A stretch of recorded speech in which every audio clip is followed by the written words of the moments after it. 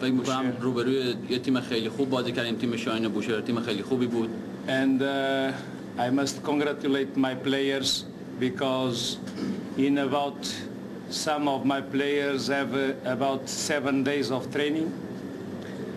We don't have timing to training no more. و می‌خوام به تک تک بازیکنام تبریک بگم تو این زمان کوتاه بیشتر اونا حدودا هفت روز تمرین کردن. تو uh, زمان کوتاه تمرین کردن و اومدن بازی خوبی ارائه دادن. تیم ما خسته است به خاطر اینکه تمرین نکرده.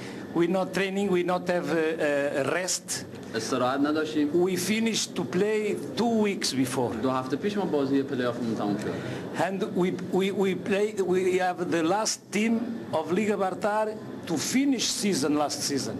In two weeks time. ما آخرین تیمی بودیم که اومدیم لیگ برتر که دو هفته پیش تموم شد فصلمون و فهمیدیم که می‌تونیم بازی تو لیگ برتر we change about 12 players new. ما حدودا 12 تا بازیکن جدید رو Most of the players not come uh, fitness, come from stop.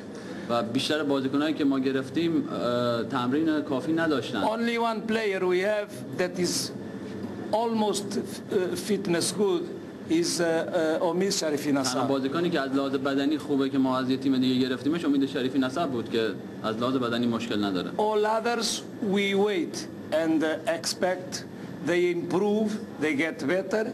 Even the, the calendar, the league, uh, it, it uh, don't, don't let us to rest or don't let us to training good because every five days in four matches we have match. و با توجه به جدول لیگ که هر پنج روزی ما باید بازی کنیم حتی به وقت کافی واسه استراحت هم نداریم بین بازیامون